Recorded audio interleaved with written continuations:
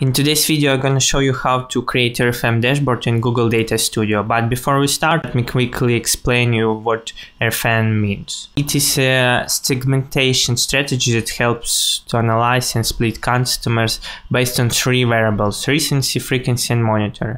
And recency is how long since a customer bought something from you, frequency how often customers buy from you, and monetary value is the total value of the purchases. RFM divides our database into segments, and each segment uh, assign a particular number. From 1 to 3 can be, or it also can be from 1 to 5, depends how big your customer base. And based on segments, we can assign some characteristics of them like champions, loyal customers, uh, promising, and so on. And according to these segments, we can make some strategy. So before we jump into Data Studio, let me show you my data set.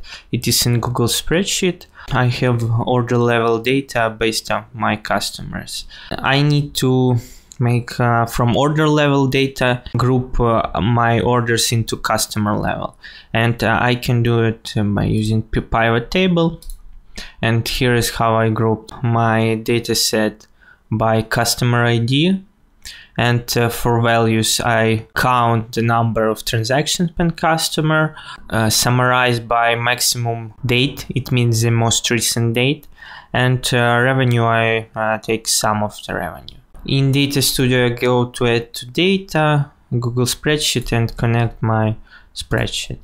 First of all I've create a table and uh, in this table, some metrics are um, default one, but some are calculated. The default metric is customer ID from my dataset, last order date, and uh, also count of transactions and sum uh, of revenue. The, the first metric that I have calculated is days since last order.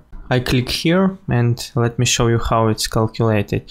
I'm using date difference uh, formula and um, today minus my maximum maximum order date. Uh, then uh, I need to divide my customer base into segments by recency, uh, frequency, and monitoring. And I'll be using percentile formula to do it and to divide by 33 percentile and 66 percentile. Here you see above the table uh, my percentiles and let me show you formula for frequency 33%. I'm using percentile, count of transactions ID and 33. Uh, very similar formula for uh, this 66 percentile. So what it means, for instance, for uh, the frequency, we divided by three segments our database. Uh, those who bought only once, those who bought between two and three, and those who bought um, more than three times. For monetary, it's uh, orders less than 145, between 145 and 247, and um, uh, 247 plus. Then, based on our uh, values, I calculated scores. R score. My data set slightly outdated, that's why you see such big numbers for days since last purchase. So what I need to do is update my field and uh, input my R scores uh, 621 and here 641. It means if a number less than uh, is less than 621 days, we assign 3 if um, numbers lower than uh, 641 we assign 2 everything else will be 1 the same uh, is true for frequency and monetary. Let me show you real quick the frequency score how it's calculated. With C formula. You can pause this video and check.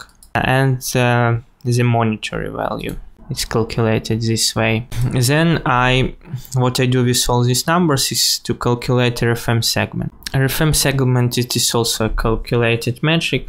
I using concat formula to to concat three scores recency, frequency, and monetary, and display it as, as numbers using cast formula. Uh, that's how this number shows up here. Then uh, I join uh, my data by RFM scores with my Google spreadsheet. I have segments and uh, here's two values RFM score and customer segment name. I've joined these two tables by RFM score. I uh, show uh, my customer segment name. Uh, also, for RFM, good chart to represent uh, RFM scores is uh, tree map. You can click uh, add chart and add this tree map and uh, display your customer segment and uh, revenue generated by this uh, segment. Also, you can use bar chart as an alternative to see uh, the number of revenue for each segment. I hope this video was useful. If you have any question, you can leave in the comments below. If you're an e-commerce brand and want to build a modern uh, data infrastructure for your store, then check my guide below.